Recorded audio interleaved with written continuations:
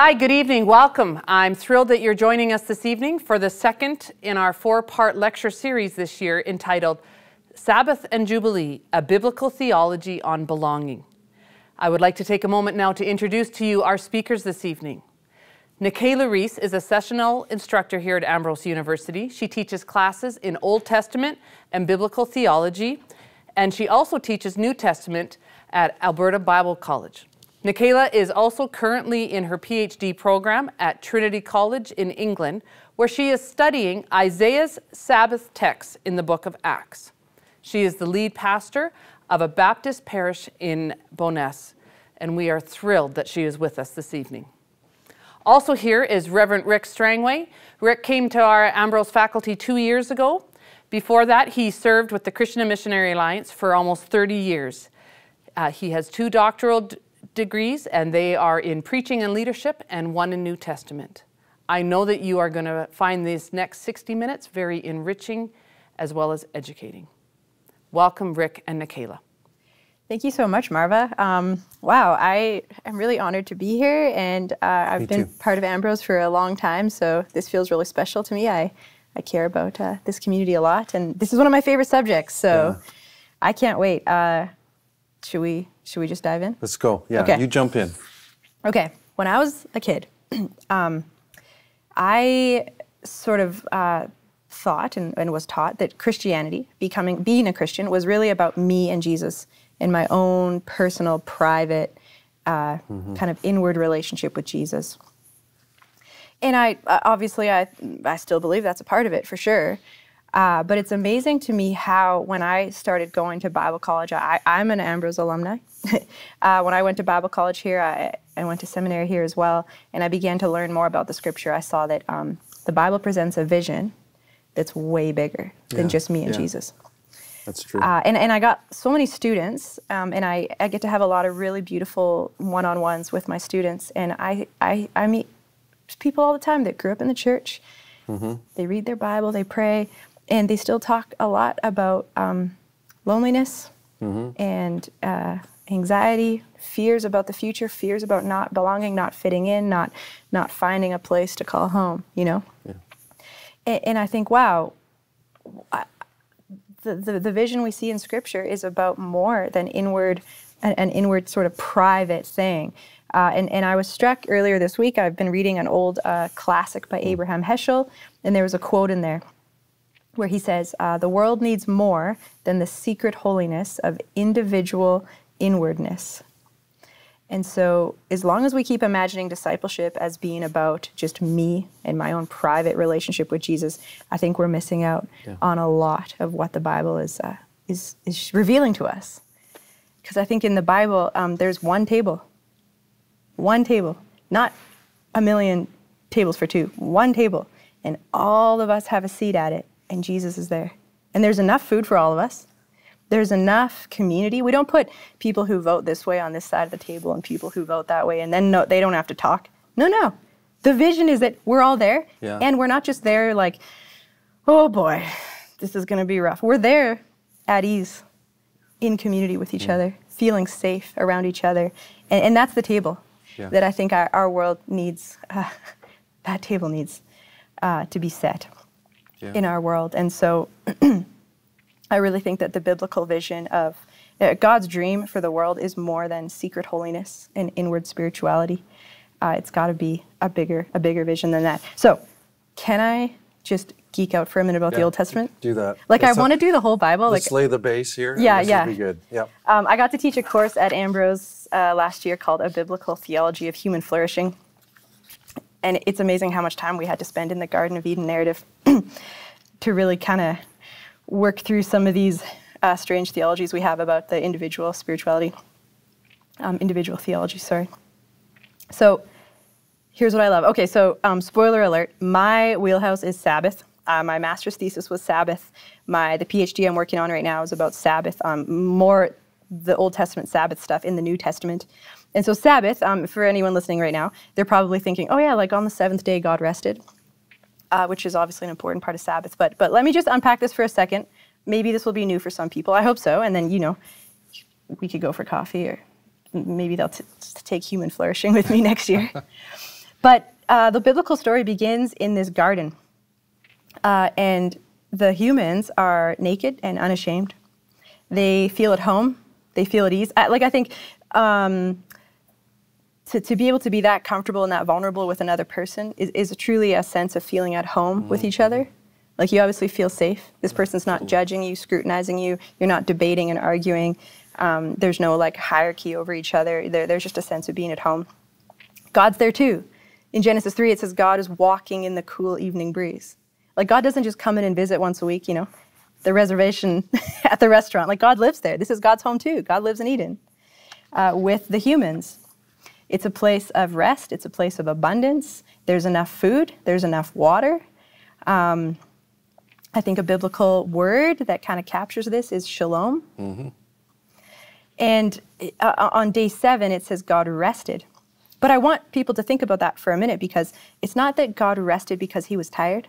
Like, you know, if like a long, uh, hard week at work, yeah. you just want to make a plate of nachos and just lay on the couch and watch football for an hour? Is that what you do yeah, when well, you rest? Maybe basketball, but I'm oh, basketball. Yeah, yeah. Okay.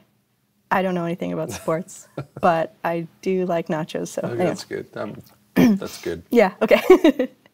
um, like like they kind of get this. You know, God's super tired, and God just needed to take a rest. And I think we have that kind of weird, limited understanding of God resting. Mm-hmm. I feel like in English it might be more accurate to say that God came to rest hmm. instead of God took a rest. Like God's not just, I need a nap, I'm tired, I've worked all week. God came to rest. God came home. Like, have you ever done a really big reno? Mm-hmm. And your house doesn't feel mm-hmm. like a home. It just mm-hmm. feels like this chaos zone, and your blood pressure is really high the whole time, right? Like, yeah, totally. like renos are super stressful. Yeah, they are. But then when they're finished, oh my God, you kind of sit back, you feel at ease. Yeah. That's yeah. rest. This is day seven. The work's done. Look at this garden. It's a big table. And all these creatures, all of creation is there, and God comes to rest. And there's something to that. And, and, and what happens um, when the humans uh, sin, they cover up. They put on clothes, they hide which shows that your nervous system is elevated, you no longer feel at ease. Yeah. You're no longer resting. And so the book of Genesis begins in Eden, but it ends in Egypt. It's just this downward, we're hiding from each other, we're afraid of each other. Uh, you're going to hurt me, so I, there's not enough. So I start storing up stuff for me. I put bigger locks on my doors. Uh, you know, Cain kills Abel because there's not enough blessing. uh, it, it ends in Egypt. And in Egypt, some people get to rest. Hmm. Not everybody. Pharaoh probably gets to rest. Although it's notable that when Pharaoh's sleeping, he's having nightmares of scarcity. yeah. Nightmares of not enough. Yeah. And I guarantee you, the enslaved uh, Hebrews don't get any rest. So Genesis begins in Eden, but it ends in Egypt. And so here's where I talk about Sabbath. Uh, this this uh, talk tonight is about Sabbath and Jubilee, and here's what's really important, I think. The, the Sabbath, uh, keeping the Sabbath is one of the Ten Commandments, right? Arguably the one we acknowledge least of all. I don't know. Agreed. Do yeah. not kill and take a day off. Just don't feel yeah. like equally important for most people. But I would argue that the Sabbath command is the most important command in the list, and it is the central command. And what's really cool is um, there's two Ten Commandments, two lists of Ten Commandments mm-hmm. in the Bible, one in Exodus and one in Deuteronomy. And I think another problem is the only time I really studied the Ten Commandments growing up was Sunday school as a kid. And the list of Ten Commandments in the Bible is actually really long. An eight year old is not going to be able to memorize it all unless you simplify it into little tiny do not kill, do not steal, keep the Sabbath, moving on, moving on. Mm-hmm. So, not a lot of people have actually read the entire Sabbath command. It's pretty long, it's the longest one on the list. Mm-hmm. So, let's imagine a generation or a few generations here in the West that's never read the full command. We accidentally start thinking that the Sabbath is about me taking a day off. Yeah. I need to rest from my work. So it's a rest from activity. Maybe for some people, because I mean, if it's just a rest from activity, that's kind of like written into the Canadian law code. Like everybody gets, you don't need Jesus to take a day off and eat nachos and watch basketball. Mm-hmm. So some say, okay, well, then it's not just a day of rest from activity, it's a day of rest from the secular or from the profane. It's a day to go to church and read the Bible and focus on spiritual things. Um, so you're resting from activity or you're rest, resting from the secular. And I, I've, I've, I've heard that sermon uh, a million times. I've, I've read those books. If you actually read the Sabbath command, though, there's something bigger going on. There's a bigger vision. Uh, so in Exodus 20, the Sabbath command roots the whole Sabbath thing in that Garden of Eden memory. In six days, the Lord made the heavens and the earth, the sea and all that is in them, but he rested on the seventh day. Therefore, the Lord blessed the Sabbath day and made it holy. So, even God needs a nap once in a while. It's okay if you take one too. Mm-hmm. The end. Go in peace. God's the creator, not you. Go in peace. What I really love, though, is the Ten Commandments are listed again in the book of Deuteronomy. So this is Moses speaking now at the end of his life. And the, the list of Ten Commandments is the exact same in Deuteronomy, except the Sabbath command is different. Suspense, drum roll. Are you ready? Maybe some people know it, I don't know. But um, this is what it says in Deuteronomy 5 Observe the Sabbath day by keeping it holy. As the Lord your God has commanded you, six days you shall labor and do all your work, but the seventh day is a Sabbath to the Lord your God. On it you shall not do any work. People think that's where it ends. Neither you, nor your son or daughter, nor your male or female slave, nor your ox, your donkey, or any of your animals, nor any foreigner residing in your towns, so that, here's the whole reason for Sabbath, so that your male and female slaves may rest as well as you. Remember that you were slaves in Egypt, and the Lord your God brought you out of there with a mighty hand and an outstretched arm. Therefore, the Lord your God has commanded you to observe the Sabbath day. Yeah. So there's two Sabbath commands in the Bible, one rooted in Egypt and one as a divine reaction to E- one rooted in Eden and one as a divine reaction yeah. to Egypt. Yeah. You know, when God is the governor, there's rest. When Pharaoh's the governor, there's not. So in God's governance, we don't have slaves who do all the labor, while only a few at the top get to rest. That's not how it works in God's system. So this command blows my mind because it's not being spoken to everyone. Because if you look around, there's a lot of people in our world who probably don't couldn't even dream of the luxury of taking a day off to eat nachos and watch sports. They really can't. Um, so imagine if we saw this command as actually saying, hey, until everybody gets to rest, we can't call it Sabbath. God didn't stop until all the work was done. God didn't stop until everybody had, the whole system was set and there was shalom. Uh, we, we need to dismantle whatever systems are making it so that only some of us get that day or that month or that year. Um, God's people live in a way that's alternative to Pharaoh's way. Yeah. We are living as alternative people. So the law, the whole law, I would say, I just taught a course on the Pentateuch. The whole law in the Torah is about creating a society that lives in a way that's alternative to Pharaoh's society. You were in Egypt, and that didn't go well for you. That was not a good time. I've rescued you from Egypt, and now you're going to live in a way to make sure you don't either end back up in Egypt or accidentally become pharaohs yourselves. We don't believe that God had blessed Pharaoh. Mm-hmm. So why, if we become Pharaoh, should we believe God has blessed us? Yeah. Wh- Which, and I know it, it's a, it's a yeah. challenging subject, but I think that's what the Sabbath is about. And one reason I know that is because not only in the Old Testament law is there a Sabbath day. So this is wild. You think you're a landowner and you are wealthy enough that you have uh, slaves, uh, enslaved people. You have uh, sons and daughters, which was a symbol of wealth in the ancient world. And you are wealthy enough and you have enough uh, stuff that um, foreigners and refugees and people who are vulnerable come to you for help. So in this ancient society, they don't have like uh, like social uh, resources that we do today. So so you're, you're vulnerable. You're fleeing war. Uh, you're some horrible things happened in your life, and you're desperate. You know which landowners to go to, and so the Sabbath day is where you stop. You the so this command is being spoken to those wealthy landowners. But you go out in the field and you make sure every single person gets to sit mm. at your table with you. It's crazy. You got to make That's a big awesome. plate of nachos.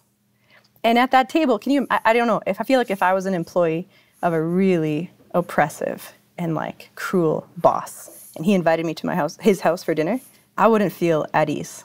Yeah. I'd be like, Am I in trouble? Did I do something wrong? So, so the vision isn't you have to go for dinner at your boss's house once a week.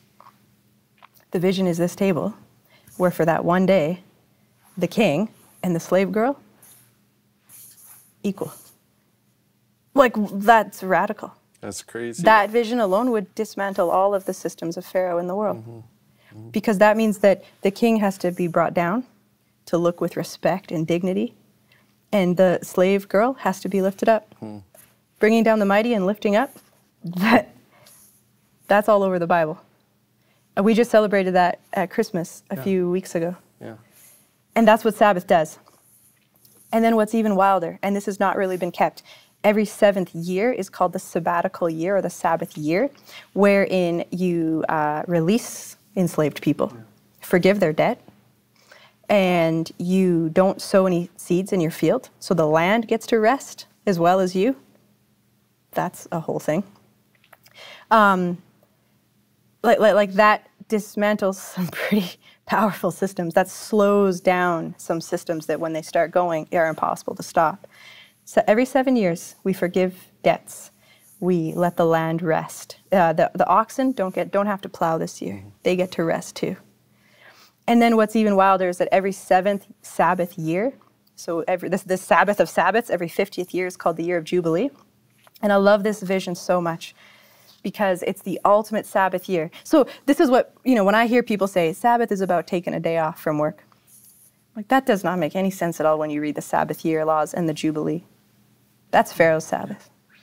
Um, the year of Jubilee, so enslaved people go free, debts are forgiven.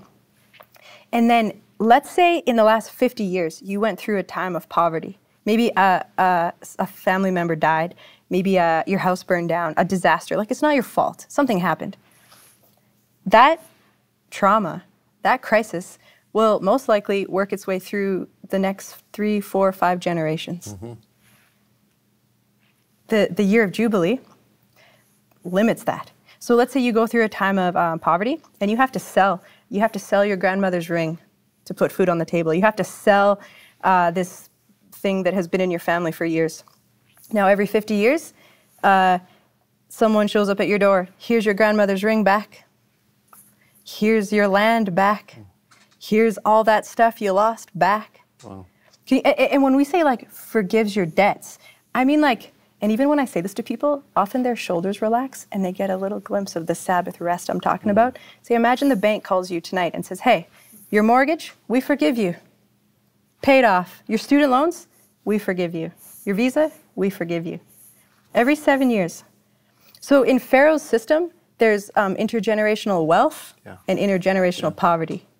And I know there's a lot of cities, even in Calgary right now, no one's living in them. Foreclosure, bankruptcy. That's Pharaoh's system. That, that, that's how it thrives. But in God's system, there's no such thing as intergenerational wealth or intergenerational poverty. Because I might become really, really wealthy at your misfortune, but every 50 years, so my children couldn't just inherit all of that that I got from you. They give it back to your children. And then we both have a seat at the table. Yeah. And that's God's governance. That's God's vision. So I was raised um, to believe that Sabbath is just about me, me taking a day off. I had never seen it as an invitation to live alternatively. I had never seen it as an invitation to work towards making this world a home like God did. um, not just a home for me, but a home for my neighborhood, a home for my neighbors. Jesus takes it a bit further and says, even a home for your enemies, which is wild. Yeah. Um, Sabbath is a command for more than just the privileged folks who are able to take a day off. Sabbath is about making sure everybody has a place of belonging. Hmm. And so it's not just me and Jesus feeling at ease with each other at our table for two. It's about my neighborhood where I live becoming a home for Jesus. And for all who are looking for home, to find a home there with Jesus. So I will ask you, Ric, because you're the New Testament um, specialist. Have you ever noticed how much trouble Jesus gets into on the Sabbath day? Yeah, no, it's it's true, and in a certain way, as you kind of paint the background and drop a canvas so we can understand Jesus, uh, we see that almost everything that he's doing, both in his life, his teaching, his ministry, certainly through his death and resurrection, and and and uh, inviting us in, is really uh, a release of uh, liberation of life in in the Sabbath living in, Yeah. in, in so many ways that we could see that. But specifically, what you said, we find much of Jesus' ministry uh, locating itself in the Sabbath Yeah. itself on that day of the week. Uh, and so we're going to or let me at least try to spend just a couple of minutes talking about Jesus. And I'm going to just use the Gospel of Mark. Okay. Um, uh, Mark 1 gives us a real good snapshot of a few things that, that are happening. We hear right from the outset in Mark 1 this is the beginning of the good news. There is something that's come before. In one way, one of the threads we're picking up from the Eden memory is this long narrative uh, that now he's announcing. It's the beginning of the good news of Jesus, the Messiah, the Son of God. And then by verse 15, Jesus is on the scene, bursting forth this idea of there's something more. The kingdom of God is here. By the end of the chapter, we get there's a number of little vignettes and pieces that are that are there. But by the end of the chapter, we find in Mark 1, verse 40, uh, this little uh, healing narrative where Jesus uh, not only heals the leper, but he tells the leper himself, listen, don't tell anyone, go immediately to the temple, offer your sacrifices there. And, you know, we see a central part of that uh, text there, that, that passage, is this idea that uh, Jesus is the healer, Jesus is God, He has the power uh, to, to heal. But there's this also sense that Jesus is releasing him as you've kind of set the stage, reminding us in Deuteronomy 5 and the, and, and the Ten Commandments and the Sabbath, what's being taught there, he's releasing him back into community as he would offer be cleansed. And so it's a, it's a beginning of a kind of a little snapshot that, that's happening there. We jump into the next chapter. We see after Jesus uh, jumps in to um, uh, invite Levi to follow him, he invites Levi to a table. And immediately he's sitting, and there's this tension right away there in the text. There's tension that's kind of already been arising since the first chapter. But there's this tension with those who are watching the Pharisees, and they're calling out Jesus, Why are you sitting with Pharisees? Or why are you sitting with tax collectors and sinners? A label kind of on a certain type of people, demeaning them in so many ways. And, uh, um, and, and kind of calling Jesus out for that. And, and Jesus' words, many of us kind of familiar with more of Jesus' words than maybe the Old Testament. He says, It's not the healthy who need a doctor, but the sick. I've come to call the righteous, not sinners. In one sense, there's this picture that you've kind of created and, and set the stage from the Hebrew scriptures where we, we see Jesus at that one table with those who thought that they were left out that they were on the other side of, uh, um, uh, of power, that they were kind of the ones who were pushed away and not in control of that which was. And so Jesus is saying, no, the kingdom is here. This is the way it's going to begin to look. So that's just two chapters in Mark's gospel. By the time we kind of move forward a little bit further in the second chapter, we have this kind of Sabbath narrative. Disciples are picking grain uh, from the fields. The Pharisees say they can't do that. There's there's Torah. There's there's the law of Sabbath Moses day. that says that's not going to happen. And uh, why are your disciples doing this? And uh, and Jesus kind of says, listen, the Sabbath was made for people. Um, I'm paraphrasing, of course, but the Sabbath is is for people to to be human people to be released. That that this day is not a day of restriction, or like you kind of reminded us at the beginning of just rest, but this is a day of liberation where it's here in bounty for us to take, to Yeah. have, to receive. From God in His governance, as uh, uh, as you had kind of indicated Yeah, and reminded totally. us. So it's beautiful uh, to begin to see in just one gospel this narrative. Uh, it's certainly about Jesus Christ and who He is as the Messiah and the Son of God, but it's this idea of of what it means when He comes into the world. Again, I grew up with that same kind of idea that you did. I thought it was just like me and Jesus, and yet it's invited me to see uh, through a different kind of a lens of what flourishing is. It's belonging. It's this sense of we are together with others uh, at the table, and uh, there's more than enough for us to share. We could go one more chapter if you if you let me in, and because I think it's it's significant, and you typically would see this when people walk through uh, the Gospel of Mark. They land in the third chapter, and there's this a short little kind of vignette, this this piece where where people are noticing that Jesus' mother and brothers are there, and uh, and they're around Jesus as, as he's teaching, and then Jesus is like kind of almost ignores the comment and acknowledges that there's a new community, or his words as he looks out, he says, These people around me, these are the ones who are my brothers, my sisters, my mother. They're the ones who, who Yeah. walk in obedience. but kinship. the indication is kinship, and I'm doing something else here, and it's beyond what you even see. Yeah. And if it's not really, uh, you know, we don't have the time to kind of weave another thread through Mark's gospel, but there's always this those who understand Jesus' message in Mark's gospel and, and those who don't. And, and so many kind of might miss the reality of what Jesus is doing, saying, there's this vision that we're reclaiming uh, from the Eden memory that uh, we're pulling back. And I love that image that you start us with to the one table. Yeah. And there is only one table. It's Yeah. not my table over here and your table there, like you said. It's just this table, and it's a it's a family. It's a belonging table. That's right. And it's a place where um, just such such rich words, but it's a place where we can be at ease Mm-hmm. because we are seen, we are known. There's enough. We are here to be ourselves, and and and there's a there's a sense of freedom there. Yeah. And and that might come uh, maybe a little bit if we play that out into the second half of the New Testament a little bit. You know, we know. I know you. You've done a lot of work in in Acts, uh, but we know that by Acts two and the Spirit being poured out, now we see the church moving out partway through Acts into the Gentile world. Yeah. And in my imagination, I see again and again as I read and reread through the New Testament and the letters that are there, the epistles, um, that these little communities, it, it's not, I'm, I'm not just reading uh, propositional statements. I'm not just how to live, how I can be a better person.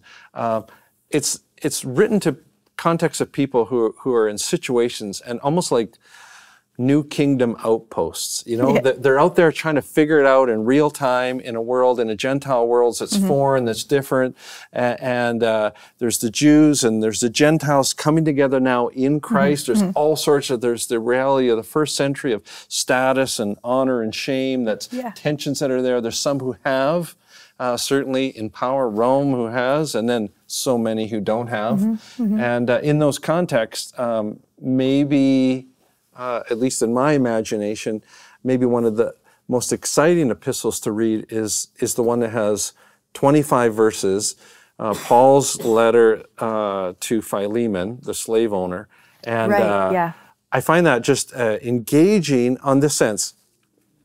Many of our audience will know, um, recognize slavery was a fairly big deal Yep. and all the way through the biblical narrative. Yeah. Um, but certainly by the time you came to the Roman Empire, some have said that the engine that drove the economy was the slave trade itself. And a slave, um, I think scholars have noted that upwards it's possible that 250,000 people were traded in the city of Rome uh, every year. It, it, it's, it's if someone was a head of a household, like Philemon, and I'll get to that in a, in a moment, uh, there's a sense that uh, they owned slaves. They had their family, they had, they had a wife. Uh, those were the legitimate heirs to all the inheritance that would be there.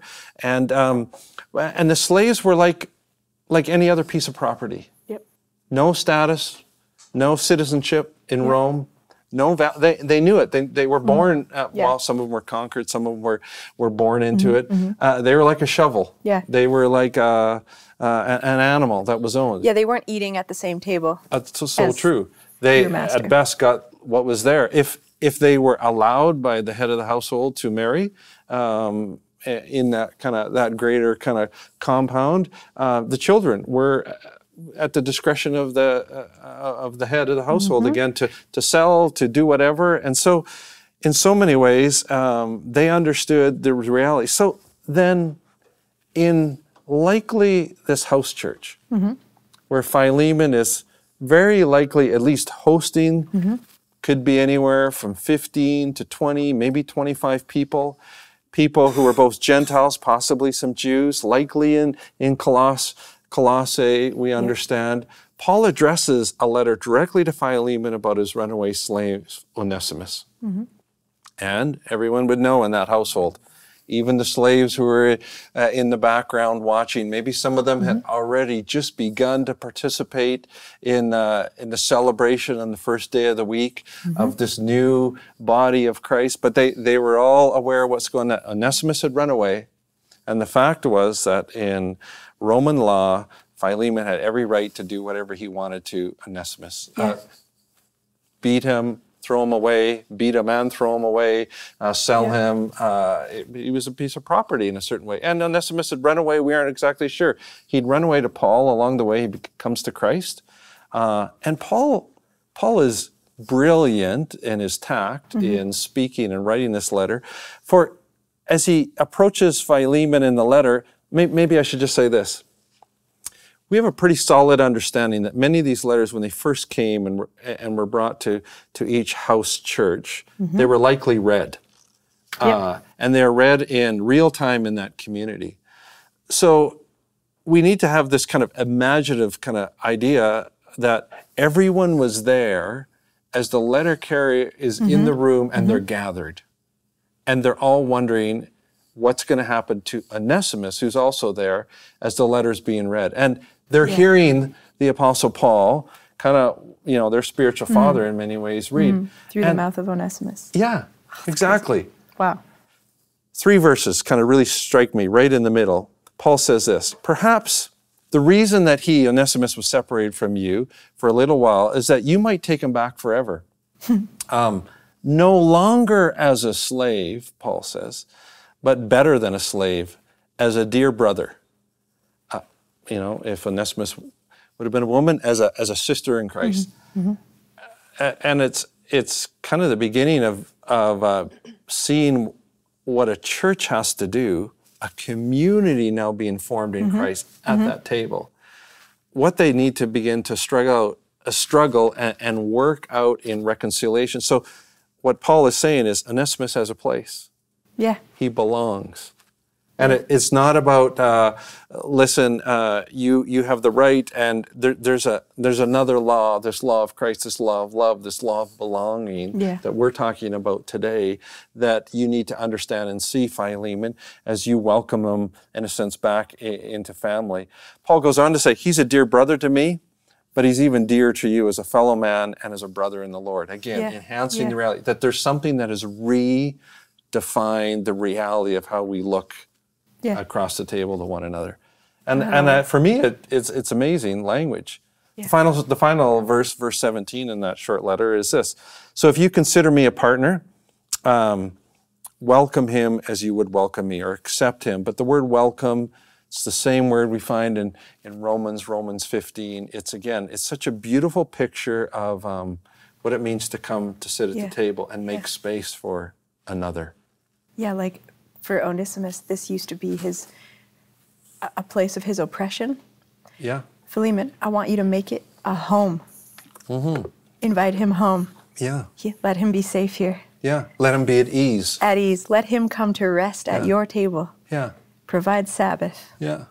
And it, it that that idea is revolutionary, especially in the Roman world. Totally. Well, and isn't it? It's revolutionary today.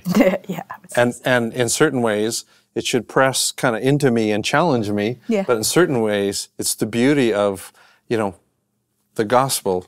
Yeah. This idea of, of flourishing that really is recapturing Mm-hmm. the vision of, of Eden that was there uh, all, all along. It's it's. Uh. I'll just say this, and, uh, and I'll turn it back to you.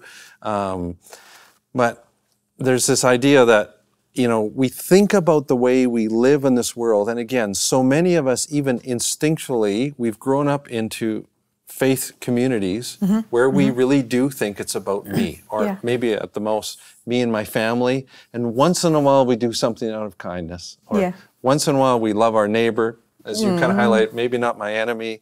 They're, Yeah. you know, they cheer for the wrong team, or their their food smells differently than my. You know, it's it's a it's hard for me to kind of engage at that. Mm-hmm. le- mm-hmm. But what the gospel does is we see the the beauty of what's being fleshed out and what the what, what we're being called to in Christ is the gospel calls us to live or be in the world in a different way Yeah.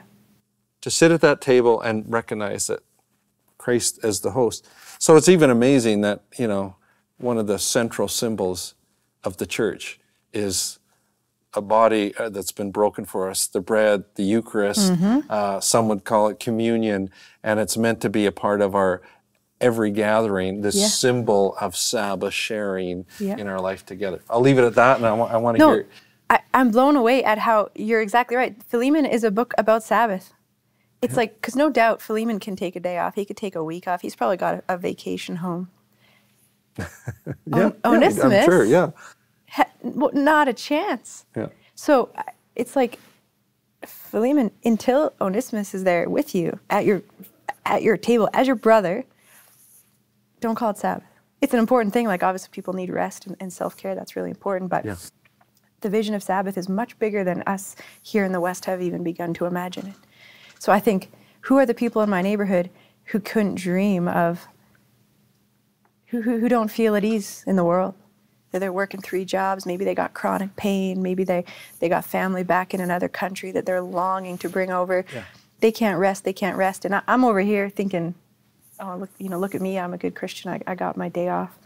Um, but the, the real, the vision here is, hey, go knock on that family's door and figure out what it would take so that they could have the rest you have and they could sit at your table as one of your siblings and so i don't know um, i'm still processing how profound this is but the book of revelation um, so sometimes um, when i talk about this with people they're like we'll get that in heaven Yeah. Yeah. after we I've heard that my whole life too. like yeah. you know just be good That's- now and that god will work that out up there like, and i'm like well we got to read revelation again as a church because in revelation 21 it's not then finally everybody was up in the heaven at this table.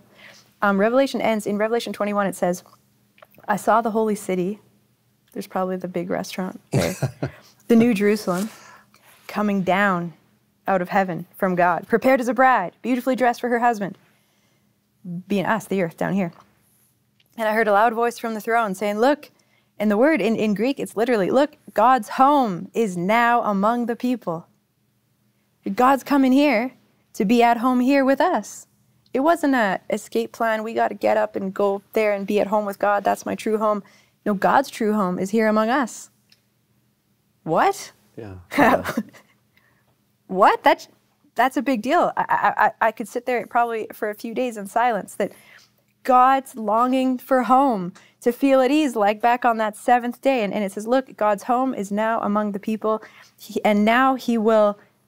Some translations say dwell, um, but dwell and rest, same word. Now God is at rest with them. They will be His people, and God Himself will be Good. with them and be their God. And then the best verse 4 of Revelation 21 He will wipe every tear from their eyes. There will be no more death, or mourning, or crying, or pain. And recall that the whole um, liberation from slavery, the house of slavery in Exodus, began because God speaks to Moses and says, I've heard their crying, I've seen their suffering. Yeah, I mean, yeah. And here God's like, there. I until every single person is here and there's no more crying and there's no more suffering and there's no more oppression, we can't we can't start the party. Behold, God's home is now among humans. There's no more death, no more mourning, no more crying, no more pain. The old order of things has passed away. Horse and rider, he's thrown into the sea. Yeah. Yeah.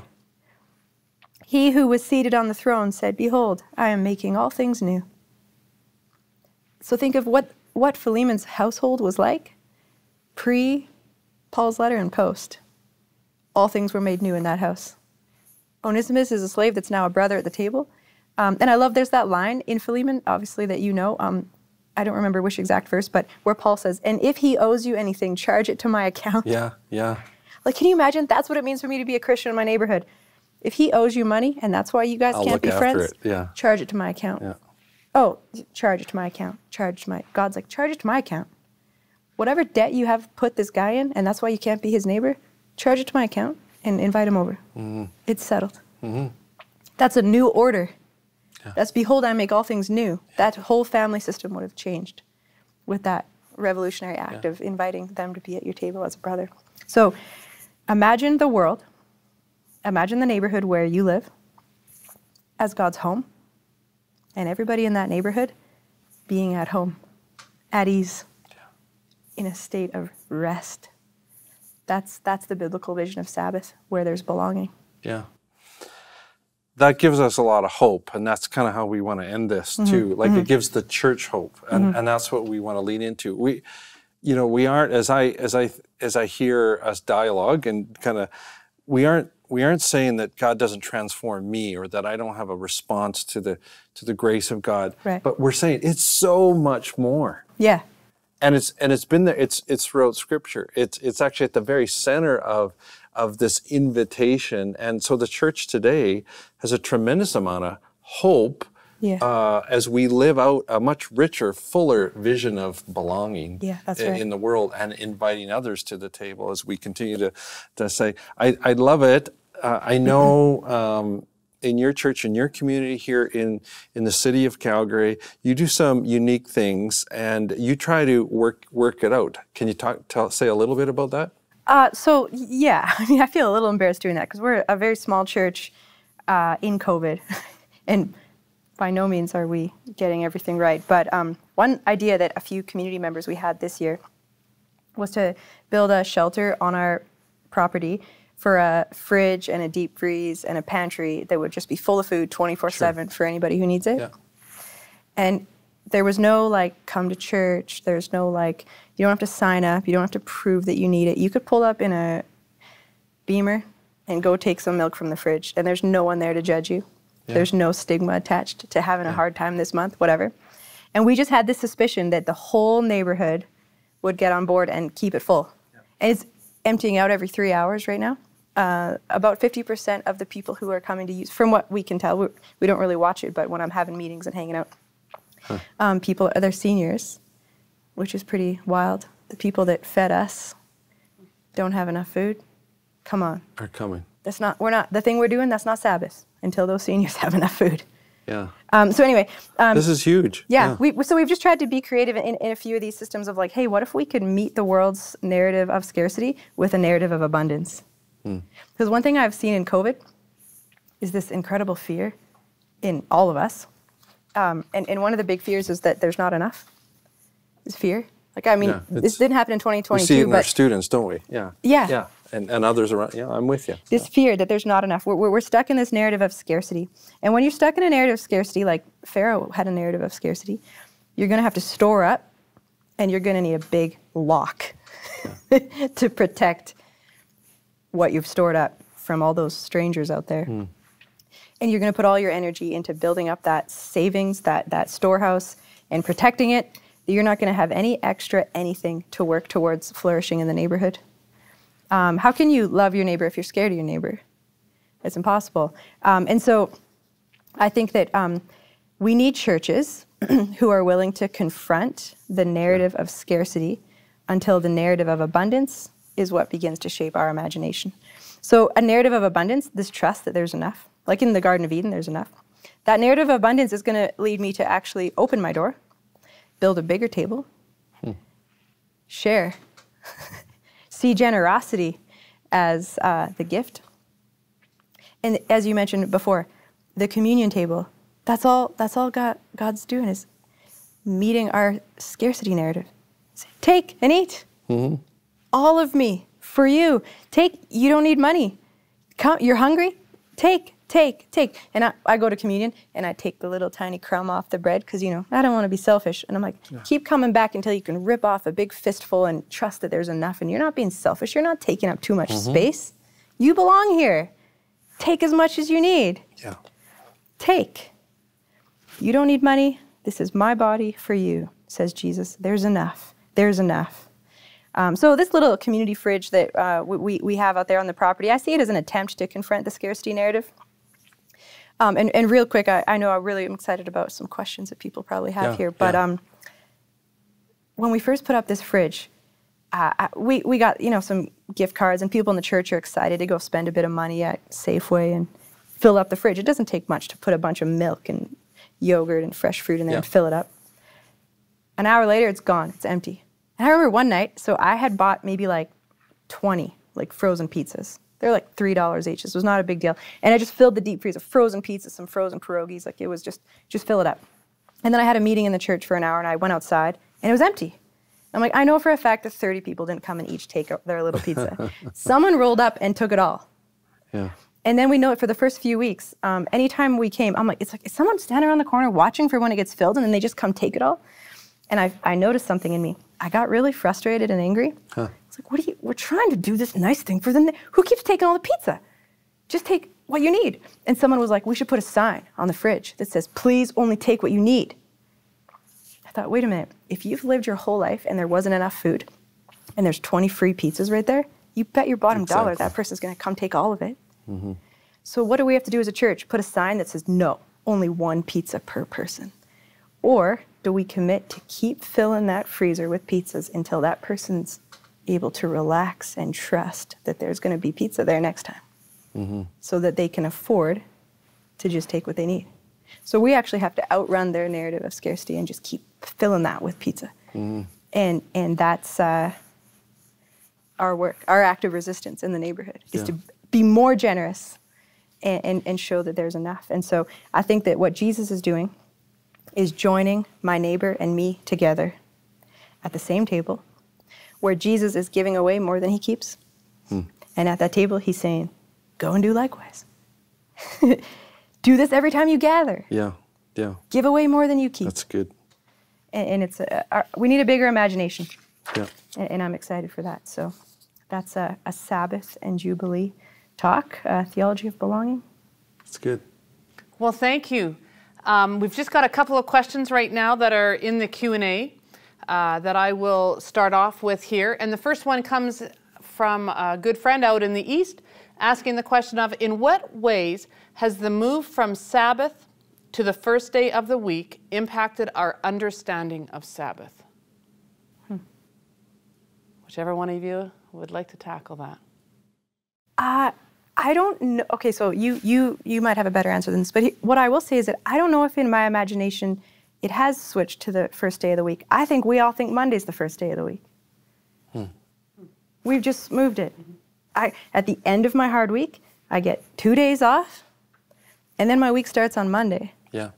And, and so I actually think ev- even if we said, well, now the Monday's the Sabbath, then we would think the week begins on Tuesday. Yeah, I think growing up, to me, at, probably quite a bit older than you, Nikki. uh, and so when I think of the the world that I grew up in, the prairies in Canada, kind of conservative evangelical world, Sabbath was just Old Testament language. So Yeah. in a way, I I can resonate with that question because thinking of Sunday, or maybe I learned by the end of high school it was the first day of the week. To me, it just sounded. So then I I just felt unfortunately, I felt like everything in the Old Testament, most of that didn't make sense. We didn't have to do that. So I think that's how, for me, anyways, there was a Yeah. Mm-hmm. separation of understanding uh, and what I thought and what I realized was. Uh, so I would have missed so much of what you Yeah. drew out of the, you know, I would have kind of rolled over Deuteronomy 5 and, Yeah. and the longer version of, of that. that. That might Yeah, be yeah. my reaction. Yeah. Wow. Well, we have another question here, and it asks uh, Why does it seem like the biblical authors, especially the prophets, connected neglecting Sabbath with a propensity to worship other gods? Oh, oh, I would love to talk about that. I think um, in the 8th century prophets, so uh, Isaiah, Hosea, Micah, Amos, you get this theme of God's like, I reject your Sabbath. I reject your sacred assemblies. I reject your festivals. I don't want your sacrifices. I want mercy. Like, that's Micah. I don't want that. Like, that individualistic, like you, you got all the Philemons in town going, going to synagogue on Sabbath. Look how righteous I am. And God's like, Onesimus is working the field right now. What are Yeah, you doing? yeah. Don't call, this isn't worship. Yeah.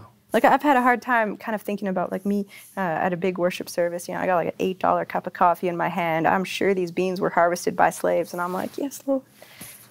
And that sounds kind of harsh. I don't know. Maybe I'm being my youth leader self here. Sorry. That's good. Um, but the, the, the, the, the, prophets are like, no, this is not the, the fast I have desired. This is in Isaiah 58. It's this long, beautiful passage. This is not the fast I have desired. The fast I've desired is for you to go and feed the hungry, loose the chains of, of injustice. And actually, in that text in Isaiah 58, it comes to this beautiful conclusion if you keep my Sabbaths and call my day a delight, because that's what it means. Um, so maybe I got a little off track of that question, but I think the idea that if your religion is just about you and your own good and securing what you need for your own fulfillment, I think the Old Testament prophets would call that idolatry. Well, the, the same uh, individual asked, um, outrunning people's narrative of uh, sacrity. I wonder, oh, scarcity, sorry. Yeah. I wonder if Nikayla can expound on that. Yeah, that's good. Sure. Um, I think, uh, well, well, the Old Testament scholar in me just wants to go back to Exodus, where there's this famine in the land, and so we have to store up and be prepared for it. And we know that there's only going to be a limited supply, so we can't waste any of it. Uh, there's only so much, and and so then uh, somehow, though, there's enough that the Pharaoh can have palaces and uh, these kind of extravagant building projects. And, and I think you know when you first um, go into the book of Exodus, um, the he, the enslaved Hebrews are building storehouses and shelters for excess. So how did we get here? Why are we using slavery to build storage for our excess? If there's excess, why do we have slavery? But there's an anxiety that we don't have enough for everyone, and so we need to protect it. And, and, and so there's this, like, I don't know, when, when COVID hit back in 2020, I, it was really hard to find toilet paper in the city because there was this mm, fear that there wasn't going to be enough. And so I'm going to get as much as I possibly can, and like, haha, I got there first, I beat you, too bad. Early bird gets the worm. And I'm like, excuse me very much. I'm a Christian. If you run out of toilet paper, you come knock Come. on my door. I will share my last roll with Yeah, you. yeah. I will love you as I love myself. And in that, we're trusting that we're going to have an. We're- Yeah, we'll, we'll, we'll find That's toilet today. We have enough, and we'll keep Yeah. finding. God will provide. And Yeah, God will provide. like, well, a sense of like, I don't need to um, anxiously store up and then put locks on my door and yeah, be like, yeah, too bad for you. yeah. That that that's this script. So I don't know if that answers it. I think so. But I hope so. I think that uh, wraps up all the questions that we have right now in our Q&A. I just want to say thank you. Tonight has been um, so informative, so inspiring, um, and I know that our listeners that are watching across Canada, the chats that are coming through and thanking you. And um, let me just say, uh, we are privileged at Ambrose to have theologians and scholars that are working with our students. Um, I jokingly said to them at the beginning of this, and I don't normally do this at our public lectures, but as a parent of students here at Ambrose, I have heard Nikayla's name more than once, and it was a privilege to finally meet her tonight because of the impact that she's having in our classrooms. And um, I can see why after listening to both of you tonight. It's been a great night. So thank you so much. Uh, for those of you uh, that are still with us um, online right now, just know that you will be receiving an email in the next couple of days, probably by end of day Monday, that feel free to share this lecture out to anybody that you think could also would also enjoy hearing it. And I will be adding into the chat uh, an opportunity for you to register for our third public lecture, which is taking place on Thursday, February 24th at 7 or 6:30 p.m. Sorry, Mountain Time. Mark Buchanan is going to be with us that evening, and he is going to be talking on "I will become even more undignified than this: the perils and delights of novelizing the David story." And I know you will not want to miss that one as well. But, anyways, until we can gather together in person, I'm thrilled that we have this technology and this opportunity. So, thank you all for tuning in, and good night from Ambrose University.